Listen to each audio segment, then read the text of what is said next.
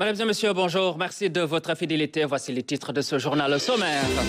Le président Bassirou Diomaye Faye a prêté serment hier investi chef de l'État. Une investiture en présence de beaucoup de personnes avec une présence importante de présidents africains. Le nouveau chef d'État entend consolider tous les acquis pour un progrès social et économique du pays. Juste après son investiture, Bassirou Diomaye Faye s'est rendu au palais de la République où le témoin lui a été passé par le président Macky Sall qui lui a également remis symboliquement la clé du palais de la République.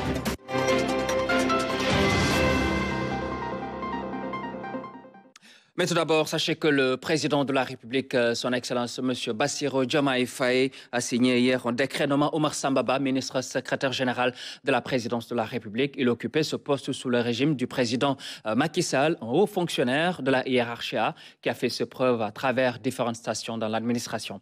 Nous écoutons Omar Sambaba.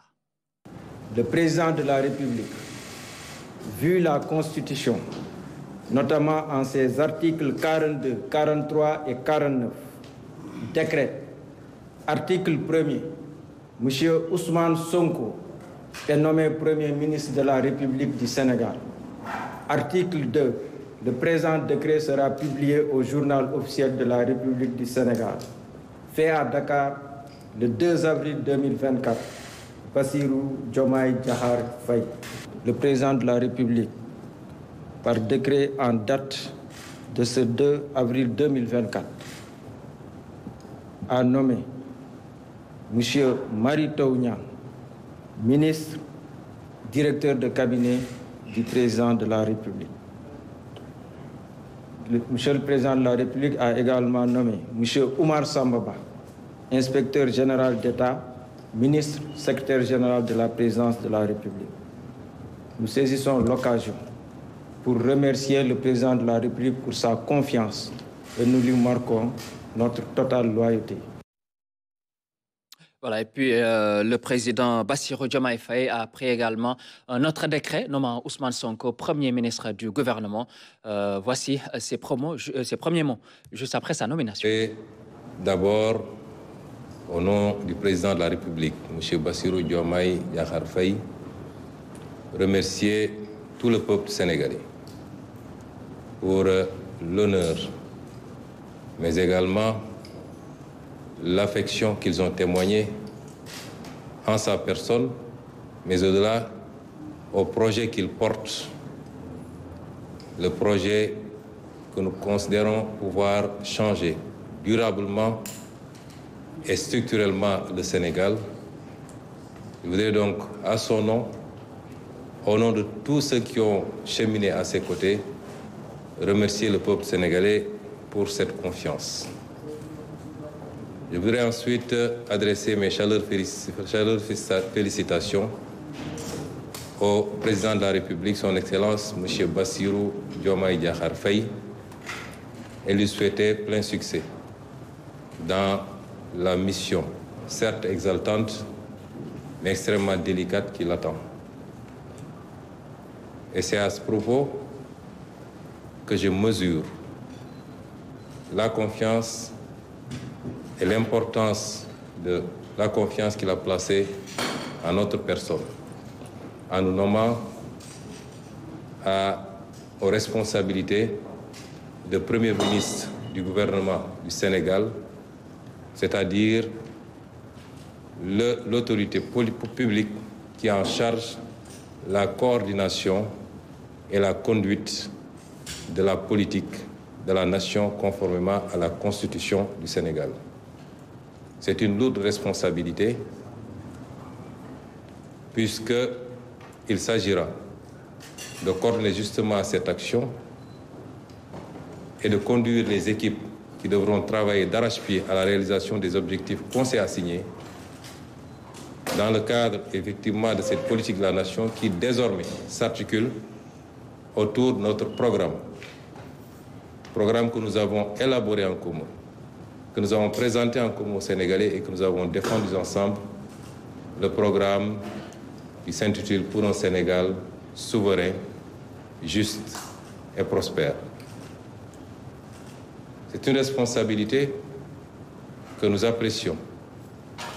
J'ai dit la dernière fois lors de la conférence, de la, du meeting qui a clôturé notre campagne électorale, que nous travaillerons tous à faire élire le président Bassirou Diomaye Faye, mais il ne sera pas question de le laisser seul assumer cette lourde responsabilité. Je voudrais dire aux Sénégalais, chacun et chacune, là où il se trouve, que ce projet est le sien et que chacun devra donner le meilleur de lui-même pour que nous atteignions les objectifs que nous sommes assignés pour le Sénégal et non pas pour le président Bassirou Diomaye Faye. C'est d'autant plus important que nous articulons notre action autour de la citoyenneté, de la participation collective, comme le démontre depuis quelques jours cette formidable jeunesse sénégalaise à travers les actions de nettoiement des artères des différentes villes du Sénégal. Donc, je remercie encore une fois le président Bassirou Diomaye Faye, lui témoignant ou le garantissant de notre loyauté, mais notre dévouement également, en tout cas à la tête de l'équipe que nous allons former. Nous donnerons tout ce que nous avons. Nous ne ménagerons aucun effort pour atteindre ce que nous avons, les objectifs que nous avons promis au peuple sénégalais, c'est-à-dire la rupture, le progrès et le changement définitif dans le bon sens. Ousmane Sonko, qui a été nommé hier dans la soirée Premier ministre du Sénégal par le président de la République, son Excellence M. Bassirou Diomaye Faye. Le chef de l'État a reçu Martar Diop, directeur général de la Société financière internationale, et filles. Notre compatriote s'est dit, retrouver, se retrouver dans les priorités du Sénégal euh, avec le président Bassirou Diomaye Faye. Il s'est dit particulièrement impressionné par le soutien que le chef de l'État compte apporter au secteur privé. Voici Martar Diop à sa sortie d'audience. Euh, le chef de l'État, euh, le président du Faye, m'a fait l'honneur de me recevoir. Je sais qu'aujourd'hui est un jour spécial, où son calendrier est extrêmement chargé, mais il m'a fait l'honneur de me recevoir. Nous avons passé en revue euh, rapidement le programme de la SFI, du groupe de la Banque mondiale au Sénégal, et nous avons parlé des orientations que le gouvernement veut mettre en œuvre. Et nous nous sommes représentés sur les secteurs de l'agriculture, le secteur du logement, nous avons également parlé de la digitalisation de l'économie et nous avons couvert un peu les éléments de stratégie qui sont contenus dans le programme politique du gouvernement et nous avons assuré que les priorités qui ont été dégagées sont tout à fait euh, euh, euh, que ce que nous faisons à la SFI est tout à fait aligné aux priorités que le gouvernement s'est fixées. Nous avons également parlé de la mobilisation des ressources domestiques pour s'assurer que le financement de l'économie se fait à un niveau adéquat. Et nous avons également parlé du rôle du secteur privé. Je dois avouer que j'étais extrêmement impressionné par la vision des autorités sur le rôle que le secteur privé doit jouer et le fait qu'il fallait supporter les, les, entrepreneurs sénégalais pour qu'ils puissent participer au financement de notre économie. Ce que nous, nous faisons à la SFI et que nous allons faire encore plus à travers notre initiative des champions nationaux. Donc, en tout, une rencontre extrêmement fructueuse et je remercie les autorités. Le Premier ministre du Rwanda a été aussi reçu par le président de la République au-delà d'un message de félicitations du président Paul Kagame. Il a insisté sur les liens d'amitié entre le Sénégal et le Rwanda. Edouard Nguerente a assisté à l'investiture du président de la République, son Excellence M. Bassirou Diomaye Faye. Il a remis également un cadeau au chef de l'État pour marquer ses relations fraternelles. Puis, euh, le président de la République, son Excellence M. Bassirou Diomaye Faye, a prêté serment hier au centre des expos de Diamniadio, une cérémonie solennelle devant le Conseil constitutionnel euh, qui marque l'entrée en fonction du nouveau chef de l'État. Dans son discours, il s'est engagé à consolider la démocratie et l'État de droit. Le président de la République entend promouvoir également la paix, la stabilité et la cohésion sociale. Aboubakri.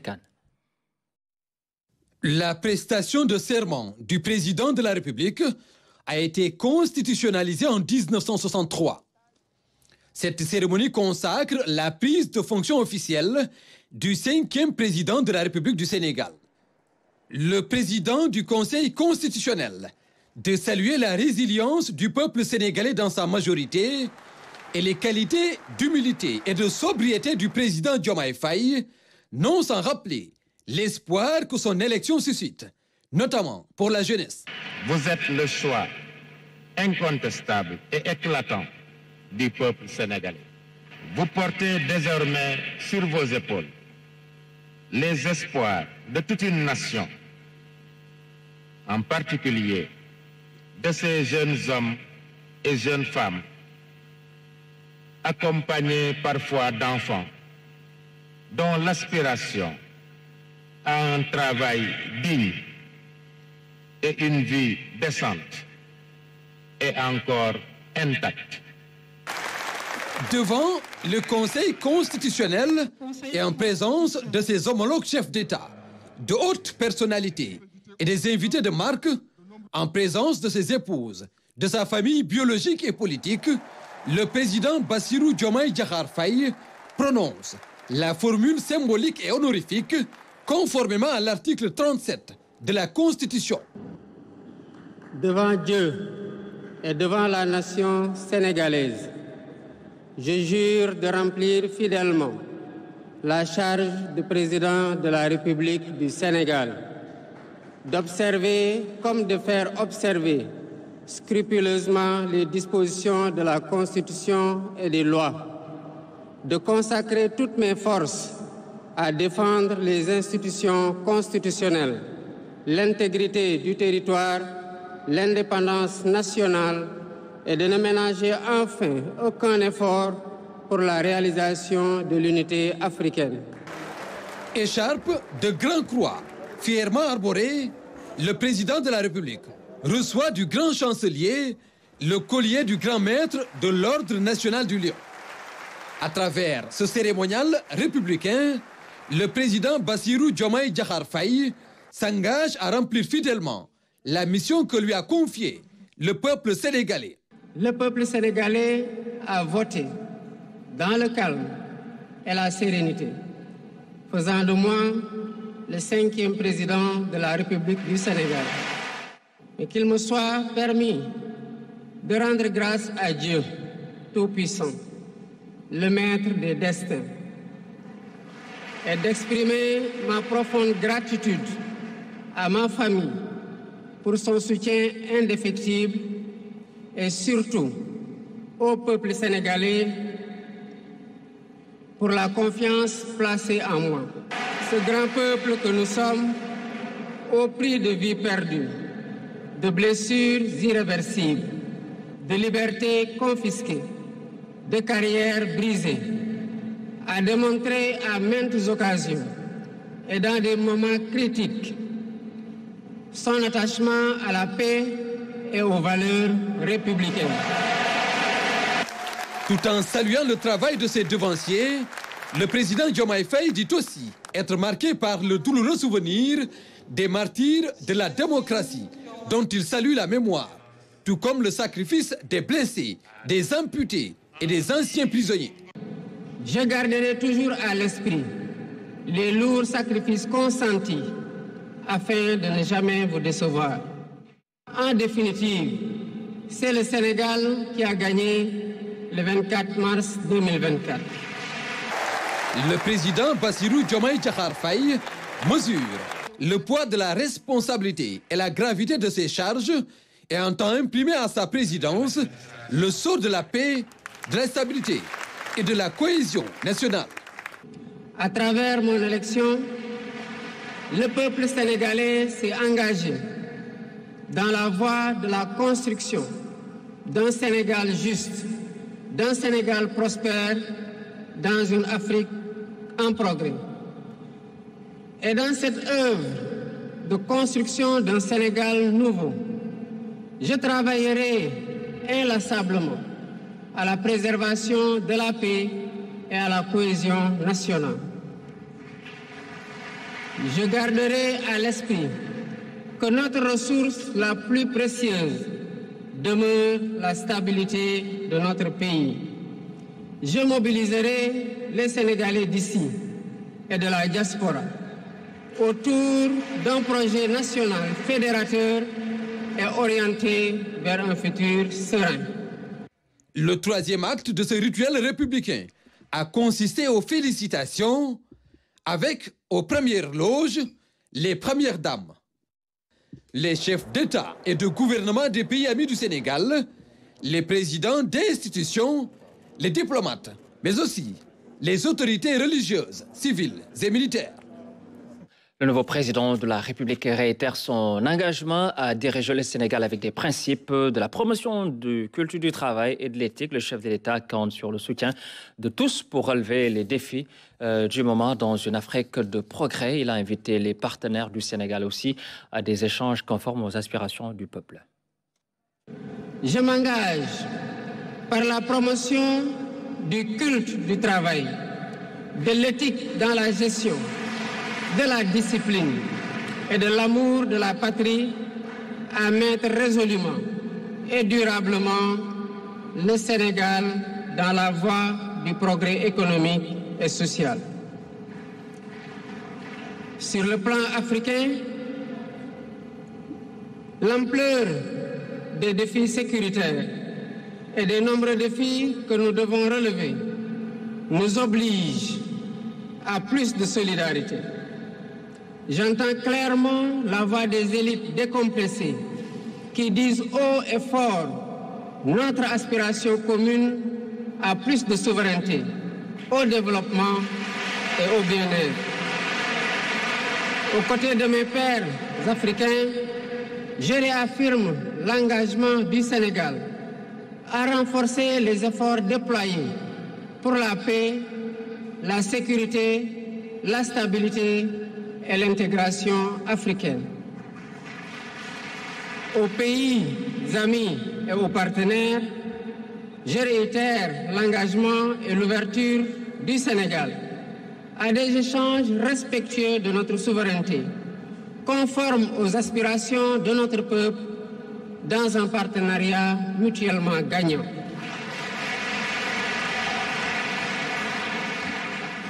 Le Sénégal, sous mon magistère, sera un pays d'espérance, avec une justice indépendante et une démocratie renforcée.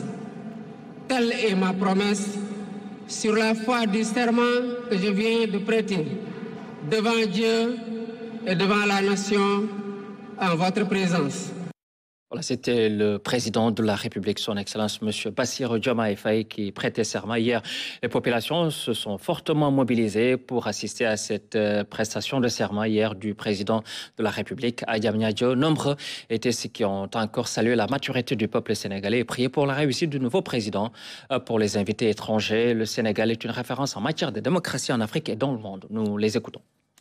C'est une cérémonie qui marque euh, une nouvelle ère avec un nouveau président qui vient d'être élu. Et je crois que c'est tout à l'honneur de la démocratie sénégalaise, mais également de la maturité de son peuple. Nous sommes convaincus que les défis seront relevés.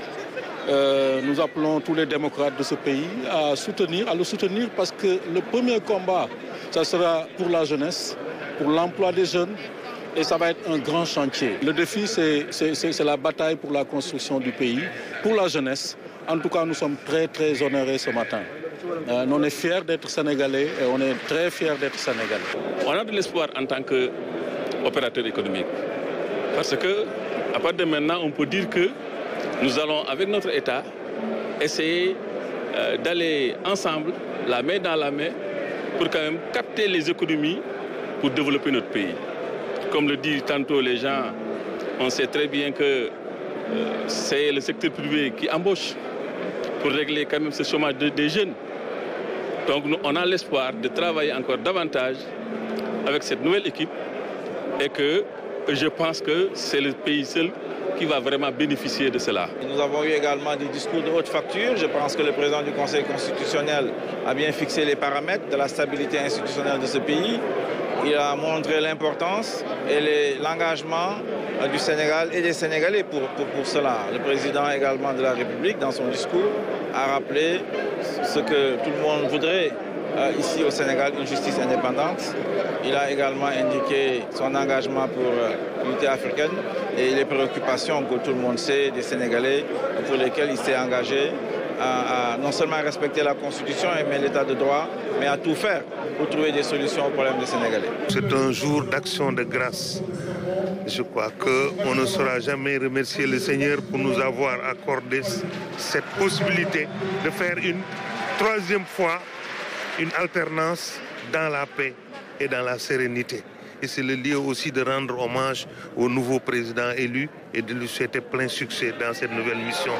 Le Sénégal est un exemple. Le Sénégal tient la tête de peloton. C'est la fête de la démocratie.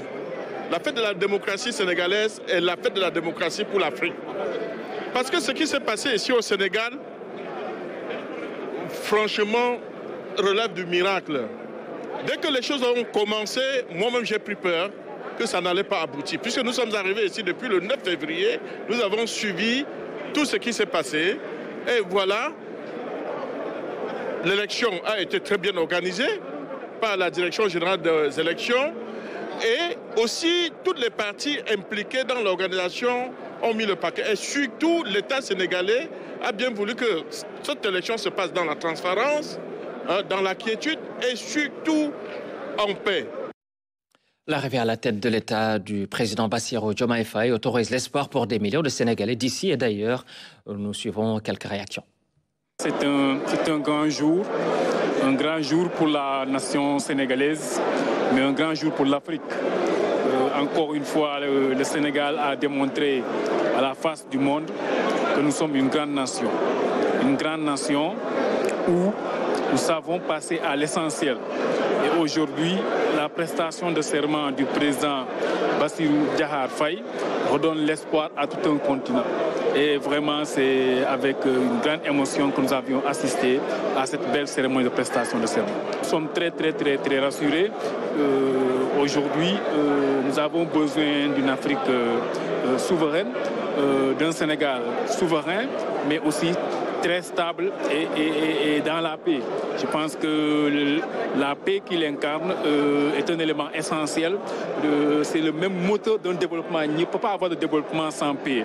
Et le président a eu à vraiment s'apesantir euh, sur, euh, sur, cet élément de langage qui est de faire un Sénégal pacifique, un Sénégal où les Sénégalais vivront dans l'harmonie. Mais surtout, il a insisté aussi sur le besoin de souveraineté. De souveraineté, bien sûr, euh, notre chère nation, mais souveraineté du peuple africain dans un monde aussi apaisé, dans un village planétaire. D'abord, le féliciter, mais surtout féliciter le peuple sénégalais qui a montré et démontré encore une fois sa maturité. Je voudrais prendre, saisir cette occasion pour dire, surtout à la jeunesse, d'être patient. Les choses ne pourront pas changer du jour au lendemain. Ça prendra du temps, du travail et de la patience. Je sais que les attentes sont énormes, mais par la grâce de Dieu, avec l'aide de chacun, je suis sûr que le président Diomaye Faye sera un très grand président de la République. J'en ai la conviction, compte tenu de l'entourage qu'il a et compte tenu également de cette clameur nationale qui, je suis sûr, va l'accompagner pour qu'il nous mène vers le développement.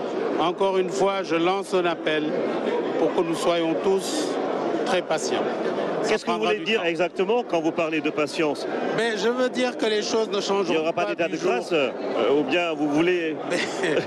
je veux simplement dire que les choses ne peuvent pas changer radicalement du jour au lendemain. -hmm. Il nous faudra nous armer de patience et surtout nous remettre au travail. Nous remettre au travail. Parce que pendant trop longtemps, nous avons laissé la place à la politique, pour ne pas dire à la politique politicienne. Maintenant, c'est la politique du développement et le travail. Je lance un appel pour que tous les Sénégalais se remettent au travail. Devoir accompli, du devoir en tout cas de lutter euh, sans relâche pour l'amélioration des conditions de vie des Sénégalais pour une refondation des institutions, mais effectivement aussi pour un décollage économique du Sénégal. Je pense que je l'ai accompagné pendant la campagne électorale. Nous avons traversé des localités jour et nuit et nous avons vu cet immense élan d'espoir, en tout cas, qui est né au niveau surtout de la jeunesse sénégalaise en quête d'emploi, mais surtout euh, ces masses de population sénégalaise euh, de classe moyenne qui sont en quête, en tout cas, de mieux vivre.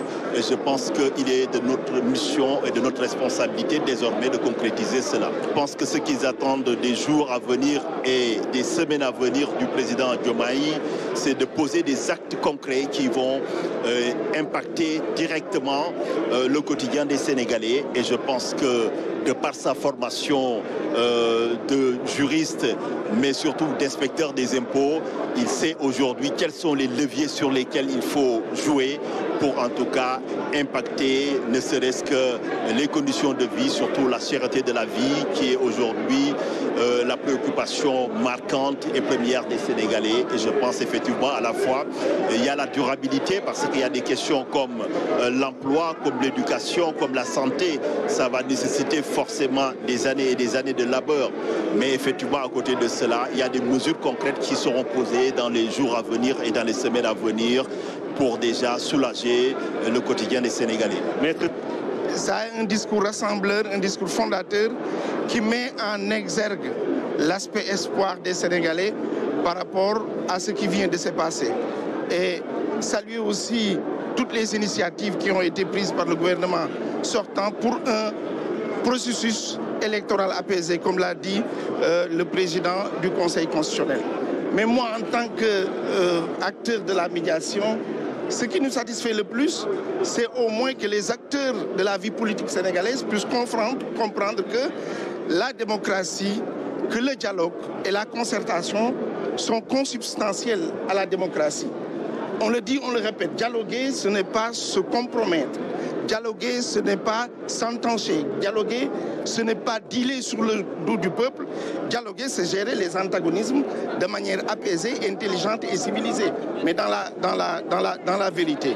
Et aujourd'hui, euh, nous estimons que le Sénégal ouvre une ère qui va euh, s'accentuer autour de la réconciliation nationale au cours de l'intérêt général, mais autour également de faire en sorte que chacun puisse se retrouver dans ce que nous avons de plus beau, parce que nous existons, parce que le Sénégal existe. Nous devons nous rendre compte que dans les années à venir, nous devons donner tout ce que nous avons en énergie, en compétences, en connaissances, pour que le Sénégal puisse devenir un grand pays. Mais cela peut-être, ce n'est pas nous qui sommes en construction qui allons en bénéficier. Peut-être ce sont les générations futures qui vont en bénéficier. Et il est important de le savoir. Euh, son Excellence, M. Bassirou Diomaye Faye est définitivement installé dans ses fonctions de président de la République. Hier matin, euh, la revient ici sur quelques temps forts de cette investiture. 10h48, le cortège présidentiel s'immobilise devant l'estrade du centre d'exposition de Djamnyadjo. Le président de la République, Bassirou Diomaye Diakhar Faye, est accueilli par les membres du Conseil constitutionnel.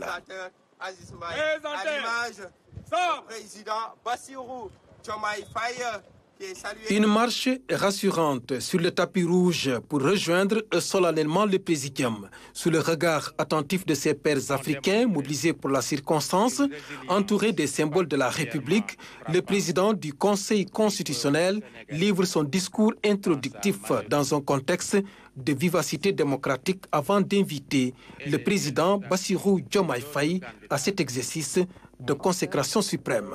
Monsieur le président de la République, Bassirou Diomaye Diakhar Faye. Au nom du peuple sénégalais, le Conseil constitutionnel va recevoir votre serment.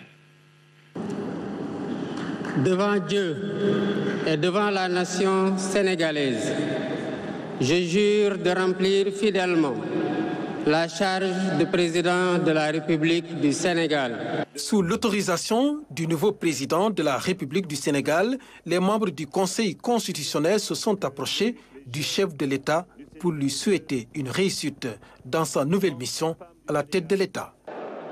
Qui donc ont participé. Après ce serment, devant les membres du Conseil constitutionnel, le grand chancelier de l'Ordre national lui a fait porter au cou le grand collier de la grande maîtrise de l'Ordre national. Don de la République, gardien de la Constitution, les sceaux de la République. Après son discours d'investiture, le président de la République, Bassirou Diomaye Diakhar Faye, s'est rendu au palais présidentiel. En cours de route, il a eu droit à des ovations du peuple sénégalais. Au palais de la République, il s'est entretenu avec le président Macky Sall sur les grands dossiers qui l'attendent. Et c'est dans la courtoisie républicaine que Bassirou Diomaye Diakhar Faye a accompagné Macky Sall, qui quitte ainsi ses fonctions après 12 ans à la tête de l'État du Sénégal. De l'indépendance en nos jours, cinq couples présidentiels se sont relayés au palais de la République avec l'élection de Bassirou Diomaye Faye. Le Sénégal se retrouve pour la première fois avec un président polygame. C'est une situation inédite. Mariam Biramba. 2 avril 2024, une nouvelle ère s'ouvre pour le Sénégal. L'investiture de son cinquième président de la République, Bassirou Diomaye Diakhar Faye, qui a prêté serment ce matin ici au centre des expositions de Diamniadio. Euh, un moment historique empreint de solennité. Et pour la première fois, le Sénégal se retrouve avec un président polygame. La RTS vous fait découvrir les premières dames. Je jure de remplir fidèlement la charge de président de la République du Sénégal. Prestation de serment du cinquième président de la République du Sénégal. Un moment solennel, marqué aussi par ce fait inédit. Pour la première fois de l'histoire politique du Sénégal, c'est un polygame qui va présider aux destinées du pays. Bassirou Diomaye Faye a deux épouses, Marie-Juan Faye et Absa Faye. Elles avaient déjà fait leur première apparition au meeting de clôture de la coalition Diomaye Président au stade Caroline Faye, à Mour.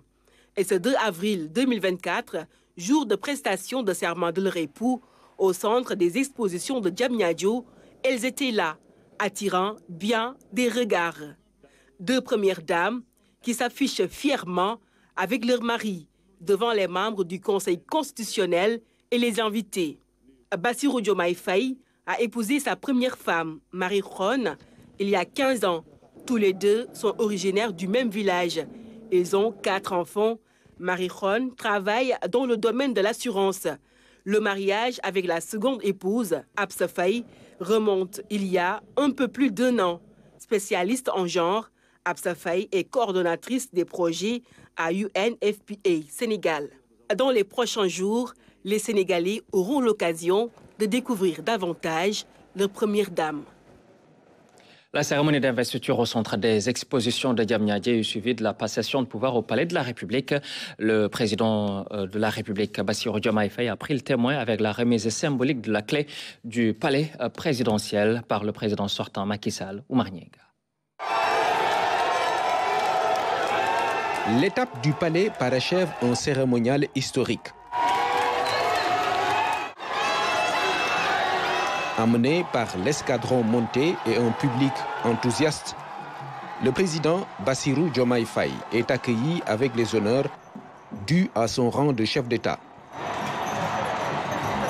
Le détachement de la garde présidentielle prend le relais dès qu'il franchit les grilles du palais de la République.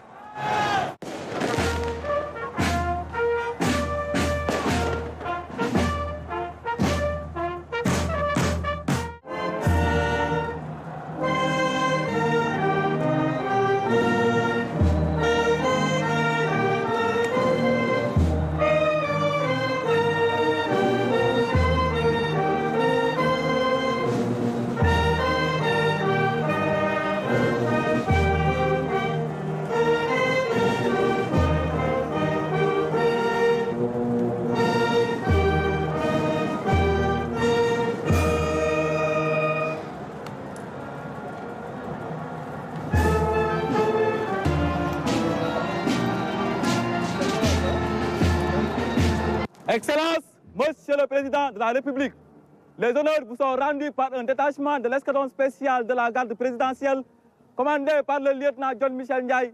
À vos autres, Monsieur le Président de la République.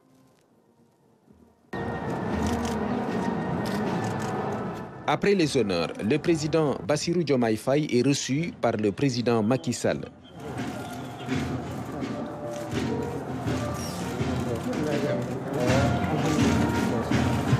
Les deux hommes se dirigent ensemble au salon musique.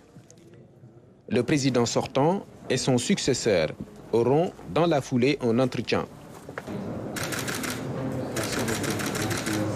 Le tête-à-tête immortalisé leur permet d'échanger sur les grands dossiers de l'État. À la fin des discussions, place aux présentations des collaborateurs respectifs. Vient ensuite le moment où le président Macky Sall pose un acte hautement symbolique. Monsieur le Président de la République, de vous avoir félicité et prié pour vous. J'ai l'honneur de vous remettre la clé symbolique du palais de la République. Je vous souhaite un bon séjour dans cette bâtisse. Merci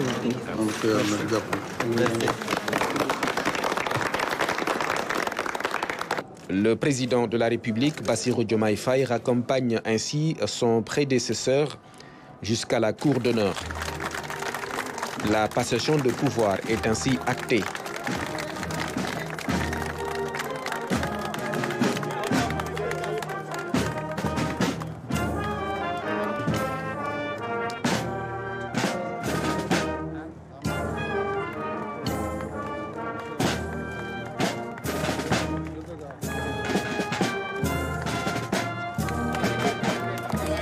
Président Macky Sall quitte ainsi ses fonctions et passe le témoin au président Bassirou Diomaye Faye. Voilà, donc c'était les temps forts de l'investiture et de la prise de fonction du nouveau président de la République, son Excellence M. Bassirou Diomaye Faye, hier. À également, les populations ont suivi cette cérémonie de prestation de serment du nouveau président de la République avec beaucoup d'intérêt. Les attentes sont nombreuses. Renforcement des infrastructures sanitaires, modernisation de l'agriculture et de l'élevage ou construction de l'Université du Sénégal oriental, entre autres questions. Tu reviens. À Tambacounda, ils ont été nombreux à suivre la cérémonie de prestation de serment du nouveau président, Bassirou Diomaye. Ce premier discours est jugé rassurant. Le contenu du discours du président, c'est son engagement. Son engagement à respecter en tout cas son serment. Son engagement à faire de sorte que le peuple sénégalais soit uni, soit réunifié, mais aussi que l'Afrique se retrouve dans ce grand concert qui puisse permettre au peuple, aux, aux dirigeants de pouvoir s'attaquer aux véritables problèmes qui s'opposent aux populations. Euh, vraiment, il est allé à l'essentiel. Et derrière aussi, il n'y a pas eu, depuis l'avènement, depuis qu'il a été élu, il n'y a pas eu de grand folklore, le folklore. Et on en a assez maintenant. Dans une région à forte potentialité économique et culturelle, les attentes sont nombreuses. Il faudrait quand même qu'il fasse quelque chose pas, pour le secteur, particulièrement de la culture. La culture en a besoin. Les acteurs culturels ont besoin d'être soutenus, aidés. On a besoin des infrastructures culturelles, ce qui manque, dans, toutes les régions et dans tout le département. Ouais. Vraiment, en tout cas, on espère qu'il euh, y aura quand même un change, il y aura un progrès, il y aura quelque chose qui se fera, en tout cas, dans nos secteurs, n'est-ce pas, la culture. On l'attend sur, plusieurs domaines, c'est-à-dire le Sénégal a, beaucoup de problèmes actuellement. Mais si on est précipité, si les jeunes sont, sont précipités, si les jeunes ne, ne savent pas attendre, ne savent pas, voilà, lui accorder le temps nécessaire qu'il faut, je ne pense pas qu'il pourra régler tous les problèmes du Sénégal du jour au lendemain. L'une des préoccupations majeures dans le secteur de l'éducation demeure la construction de l'université du Sénégal oriental. Euh, L'enseignement public universitaire est pratiquement fermé depuis quelque temps. Le calendrier est fortement perturbé. On ne sait plus exactement les étudiants, à quelle année ils sont, ainsi de suite, ainsi de suite. Donc ça, c'est très compliqué. Il faudrait qu'on essaie de résoudre ce problème-là dans les plus brefs délais. Au niveau de Tambacounda, on attend toujours l'Université du Sénégal oriental qui va permettre à nos étudiants, qui va permettre à leurs parents quand même de voir le bout du tunnel. L'Université du Sénégal oriental, la, reprise euh, du trafic ferroviaire, non pas seulement au niveau marchandises, mais au niveau des passagers. Il faut un hôpital de niveau 3 qui a même une vocation sous-régionale africaine. Rappelez qu'aujourd'hui, Tambacounda est entouré, je l'ai dit, de cinq pays, dont les périphéries nationales, les capitales, euh, au Mali est beaucoup plus proche de Tambacounda que de Bamako, et, et Gabou sont beaucoup plus proches de Tambacounda en termes d'évacuation sanitaire, ces populations gagneraient beaucoup plus à venir à référer leurs malades. Et d'ailleurs, c'est ce qui se passe. Trouvé au marché central de Tambacounda, ce jeune diplômé s'investit depuis deux ans dans la vente de produits maraîchers. Il fonde beaucoup d'espoir sur le nouveau président. On est très content. On a des, on a des problèmes, d'après moi, on a des problèmes qui est déjà résolus. Parce que Joma est là, Sonko est là. Tout ce qu'on n'avait pas, peut-être on aura avec Jomai. Ça qu'on attend Jomai. On attend Jomai ici, qu'il nous amène des programmes, qu'il ouvre des entreprises pour que les jeunesses de Tamba puissent travailler. Ils ont été nombreux à féliciter le nouveau président de la République, Bassirou Diomaye Faye. Certains exhortent les populations à accorder le temps nécessaire au président pour dérouler sa feuille de route et ainsi obtenir des résultats satisfaisants. Voilà, merci à vous tous de votre attention. C'est la fin de ce journal. Merci de votre fidélité. Dans un instant, je vous retrouve pour la version Wolof.